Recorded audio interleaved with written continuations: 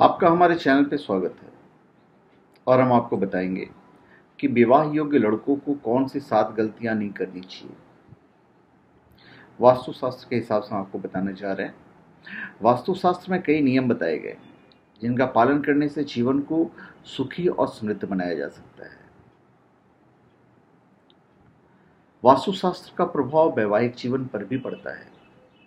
आज हम आपको वास्तुशास्त्र से जुड़ी कुछ ऐसी बात के बारे में बताने जा रहे हैं, जिनका पालन शादी योग्य लड़कों को ज़रूर करना चाहिए, जिसे नियम एक।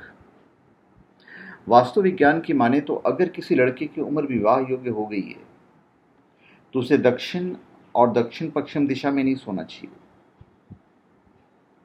इससे विवाह में बाधा उत्पन्न होती है और पति पत्नी के रिश्ते भी खराब होते हैं।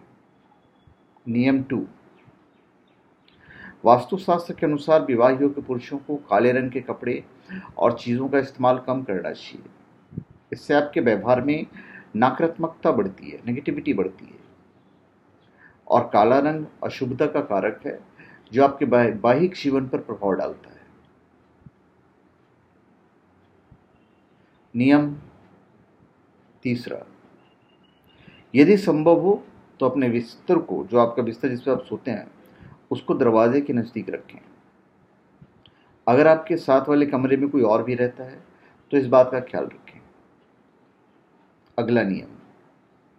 वास्तुशास्त्र के अनुसार जिस स्थान पर बीम लटका हुआ हो, वो जगह भी अशुभ मानी जाती है। विवाह योग्य लड़के ऐसी जगह पर ना सोए जहाँ बीम लटका हुआ हो। अगला नियम। जिनका भी विवाह होने वाला है या विवाह योग्य पुरुष हैं, उनके कमरे का रंग गहरा नहीं होना चाहिए। दीवारों का रंग चमकीला, पीला, गुलाबी, शुभ होता है। इससे आपके विवाह में आ रही सभी तरह की मुश्किलें जो हैं, वो दूर हो जाती है। अगला नियम। विवाह योग्य लड़कों को ऐसे कमरे में सोना चाहिए, जिनमें एक से अधिक दरवाजे हों। चलो आजकल तो फ्लैट सिस्टम है तो दरवाज़ा तो खैर एक ही होगा। पर उस कमरे में हवा और रोशनी का प्रवेश जो है, वो प्रॉपर रहनी चाहिए। मतलब हवा और रोशनी का प्रवेश जहाँ पे कम हो, वहाँ पे आप सोने से बचिए।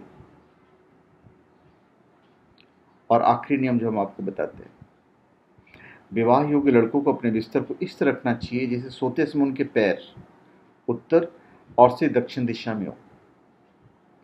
हालाँकि नियम सब पे लागू होता है, पर जो विवाह योग्य लड़के उन पर खास लागू है ये इस नियम का पालन करने से आपके विवाह में आ रही सभी बाधाएँ दूर होंगी और आपको उत्तम जीवन साथी की प्राप्ति होगी। तो धन्यवाद। आपका हमारे चैनल पे स्वागत है। आप हमारे चैनल पे सब्सक्राइब करें और अपने कमेंट दीजिए। और आपके फ़ोन में जो एक बेल दिख रहा है, उस बेल को आप दबा दें ताकि हमारे पोस्टेड जो वीडियोस हैं वो आपको मिलता रहे। धन्यवाद।